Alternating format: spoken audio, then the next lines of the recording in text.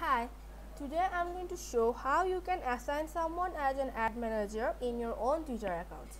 I am logged in in the Twitter account of Dolls and Toys. Here you can see Dolls and Toys, right?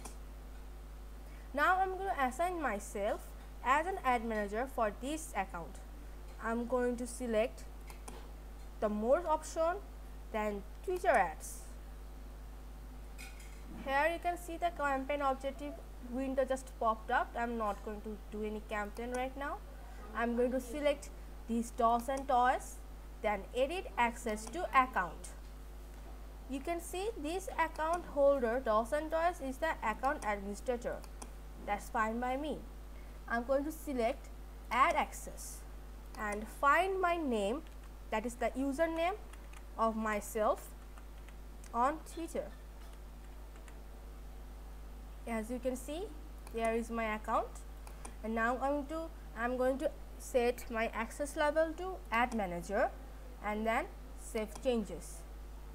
I have added myself successfully for this Dolls and Toys account as an ad manager. Now I'm going to switch to this account and see whether it comes or not. And I'm going to view my this profile Dolls and Toys now I'm going to switch to my own profile. And now I'm going to select the more option then go to Twitter ads. Then I'm going to select across. Then you can see this is my name. I'm going to select switch accounts. And there you go.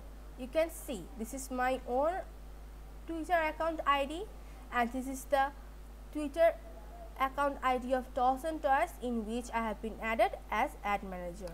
Now I'm going to select this one and you can see I can create campaign. I can't do anything else except create campaign in this account.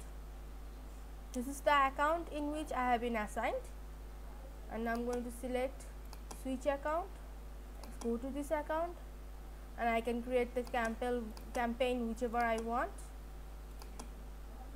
and when I run this campaign this campaign is run under this dolls and toys account.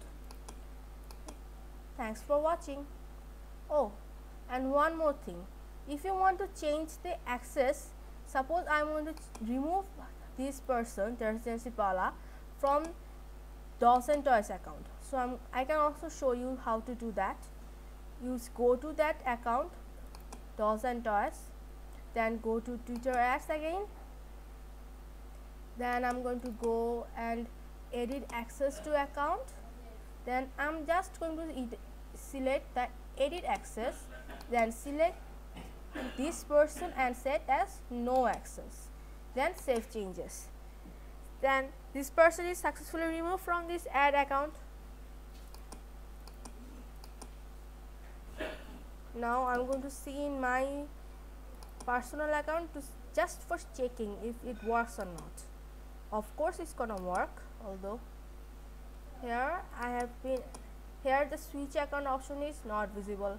It went away. That means I have been successfully removed. Thanks for watching